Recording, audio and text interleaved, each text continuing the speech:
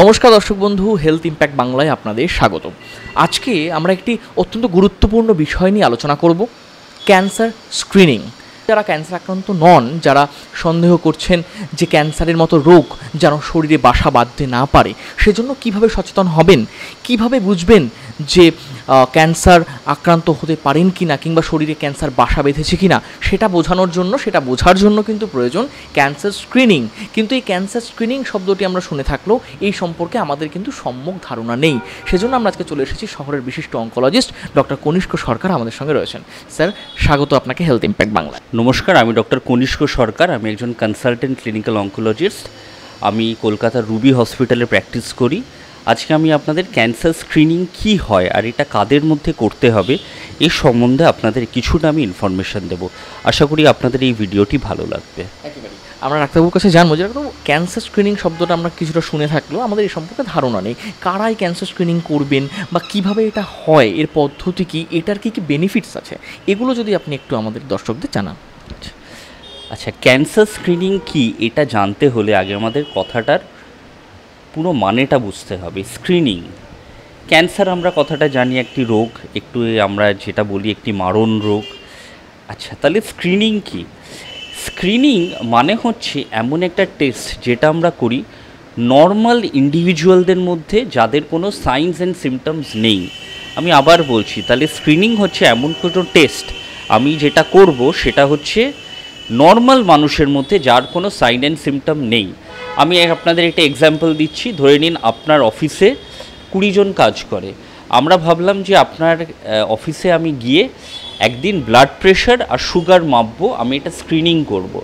মানে এই কুড়িজন ভদ্রলোকের হয়তো ব্লাড প্রেশার কি সুগার হয়তো বেড়ে আছে, কিন্তু কোনো সাইন্স অ্যান্ড সিমটমস নেই এবার হয়তো আমরা টেস্টগুলো করে দেখতে পারলাম, কুড়ি জনের মধ্যে হয়তো দুজনের প্রেশার আছে, একজনের সুগার আছে। তার মানে কি হলো? আমরা ডায়াগনোসিসটা খুব তাড়াতাড়ি হয়ে গেল। এই দুজন কি তিনজন? হয়তো এরকম দেখা গেল যে এই কোনো সিমটম ছাড়া তারা হয়তো চার বছর, পাঁচ বছর হয়তো সব ঠিকঠাক থাকল, কিন্তু কি হলো?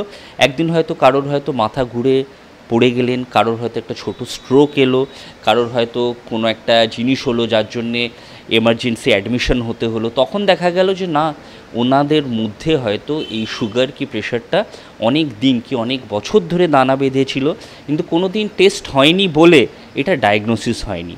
তো ক্যান্সার স্ক্রিনিংটাই এরকমই যে আমরা একটা এ সিমটোম্যাটিক একটা গ্রুপে আমরা এই টেস্টটা করছি মানে যাদের কোনো সাইন্স অ্যান্ড সিমটমস নেই। তাহলে কি দাঁড়াচ্ছে যে ধরে নিন কিছু কিছু রোগ আছে, যেমন ধরে নিন ব্রেস্ট ক্যান্সার তারপর সার্ভাইকাল ক্যান্সার তারপর প্রস্টেট ক্যান্সার এইগুলোতে অনেক সময় দেখা যায় যে, ধরে নিন আমি এটা ব্রেস্ট ক্যান্সারের ক্ষেত্রে বলছি, কোনো একটি মহিলার হয়তো ব্রেস্টে একটা খুব ছোট্ট টিউমার, হয়তো একটা একটা এই যে আমরা গুলি খেলি সেরকম একটা গুলির মতো, একটা ছোট্ট একটা সাইজের আছে, সে হয়তো কোনো দিন সেটা হয়তো ছ মাস ধরে আছে, সে হয়তো বুঝতে পারছে না মানে তার কোনো সাইন্স অ্যান্ড সিমটমস নেই। আমরা কি করছি? আমরা এই স্টেটে আমরা যদি এটা ডায়াগনোসিস করতে পারি, তাহলে দেখা যাচ্ছে হয়তো নাইনটি ফাইভ পার্সেন্ট চান্স আছে যে উনি একদম পুরো সব চিকিৎসার সাথে ক্যান্সারটা সেরে গেল। আর ধরে নিন, আমি এই স্ক্রিনিং করলাম না, তাহলে স্ক্রিনিং না করলে কি এই আস্তে আস্তে এটা আস্তে আস্তে টিউমারটা বাড়বে, হয়তো বেড়ে হয়ে গেল একটি আমরা যে ক্রিকেটের বল সাইজের একটা টিউমার হয়ে গেল। তখন কি হলো? তখন রোগটা অনেকটা বেড়ে গেল। হয়তো আগে স্টেজ ওয়ান ছিল, পরে হয়তো দেখা গেল স্টেজ থ্রি হয়ে গেল। তাহলে ছোট সমস্যা হলে আমাদের চিকিৎসাও কম লাগবে, চিকিৎসার রেজাল্টটাও ভালো হবে। আর সমস্যাটা যদি একটু বড় হয়ে যায়, তাহলে হয়তো এরকম হতে পারে যে রোগটা হয়তো কোথাও এইখান ব্রেস্ট থেকে হয়তো কোথাও স্প্রেড করে গেল। কি হয়তো দেখা গেল যে অপারেশনের পরে রেডিয়েশন আর কেমোথেরাপি লাগলোই। অনেক সময় এরকম হয় যে খুব ছোট টিউমার থাকলে অপারেশনের পরে কোনো এক্সট্রা ট্রিটমেন্ট, যেমন রেডিওথেরাপি, কেমোথেরাপি, হয়তো লাগল না। কিন্তু রোগটা যদি পরে ধরা পড়ে, তাহলে দেখা গেল যে এতগুলো চিকিৎসা হয়তো লাগল। আমি আবার ওই ব্লাড প্রেশারের গল্পটায় বল, চলে গেলাম। কি দেখা গেল? যে হয়তো আমরা কারোর সুগার প্রেশারটা পাঁচ বছর আগে ধরলাম, তাহলে হয়তো তাকে একটা ট্যাবলেট আর কিছু লাইফস্টাইল মডিফিকেশন কিছু ডায়েটারি মডিফিকেশন করে হয়তো দেখা গেল একটা ট্যাবলেট দিলাম আর তিনি হয়তো সারা জীবন ভালো থাকলেন। আর তারই যদি স্ক্রিনিংটা না হয়ে যদি পাঁচ বছর পরে রোগটা ধরা পড়ে, তখন হয়তো আমরা দেখলাম, তখন হয়তো আমাদের দশটা ওষুধ দিতে হলো। হয়তো দেখা গেল ওনাকে ভর্তি করতে হলো, কি দেখা গেল হয়তো সুগার এমন বেড়ে গেছে যে আমাদের ইনসুলিন দিতে হলো। তাহলে কি হলো? আমরা early diagnosis and appropriate treatment করতে পারলাম স্ক্রিনিংয়ের জন্যে স্ক্রিনিং দিয়ে। তাতে কি হলো? আমাদের ট্রিটমেন্টের আউটকামটাও বেটার হলো। তাহলে আমরা তাহলে আমি আপনাকে স্যার আপনার পরের প্রশ্নটা আমি জিজ্ঞেস করে নিচ্ছি। আপনার হয়ে যে ডাক্তারবাবু কোন কোন ক্যান্সারের ক্ষেত্রে স্ক্রিনিং করা যেতে পারে? তো সেইখানে আমরা বলব যে তিনটে ক্যান্সার আছে। একটা হচ্ছে ব্রেস্ট ক্যান্সার ব্রেস্ট ক্যান্সারে আমরা বলি মোটামুটি পঁয়তাল্লিশ থেকে পঞ্চাশ বছর হয়ে গেলে স্পেশালি যাদের একটা ফ্যামিলি হিস্ট্রি আছে ম্যামোগ্রাম বলে একটা টেস্ট করা হয় ম্যামোগ্রাম তো এইটাতে আমরা খুব সহজে ছোটো টিউমার আমরা ডায়াগনোসিস করতে পারি।